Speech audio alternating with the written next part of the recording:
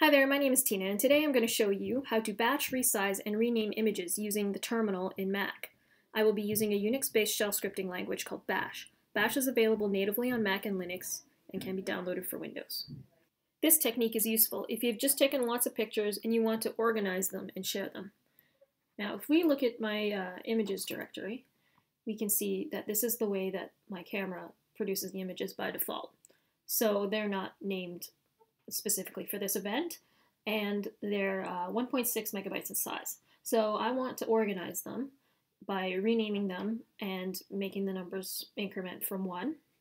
And I also want to resize them so that they are smaller and I can share them with my friends and family.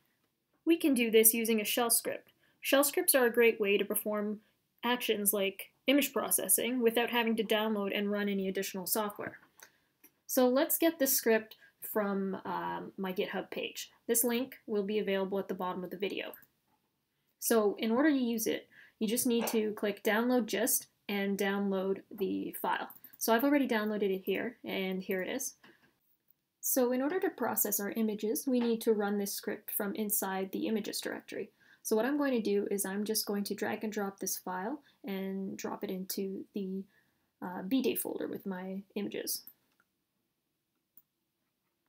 So next we need to go into this folder in the terminal. So what I'm going to do is uh, type cd and space. cd is for change directory. And then I'm going to drag and drop the bday folder into the terminal window. And this is going to take me to this uh, folder. So let's just hit enter and we're inside this folder. Now I'm just going to type ls and ls is going to list all of the files in this folder. And as we can see, the new uh, images uh, shell script has been dropped in here and we can use it here. So in order to run this script, what we need to do is type bash because we're using the bash script language, and then images.sh for our file name. And we're basically telling bash to run this script. And then we're going to hit enter.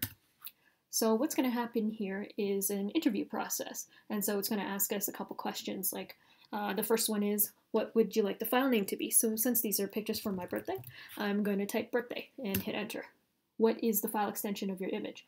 So this must be case sensitive. So if I go back to my images directory and I look at it, it's um, JPG for JPEG in large um, full ca all caps. So I'm going to type that and hit enter. What width in pixels would you like your images? So I would like my images to be 800 pixels wide and hit enter. And so this is just a confirmation. Your file name will be birthday and the width will be 800 pixels. Continue. I'm going to press Y for yes. And uh, we're going to see that it's going to process my images. So that's done. So now if I go back to my bday directory, I can see that my images have been processed. So we'll notice that they're much smaller in size from 1.6 megabytes to um, uh, 100 kilobytes. And we can see that they're all named birthday and um, the, the number is incrementing from 1. Also, if we do uh, get info, and we, um, we can see that the image dimensions are 800 um, pixels wide. And that's how we can batch, resize, and rename images on Mac without needing to download any additional software.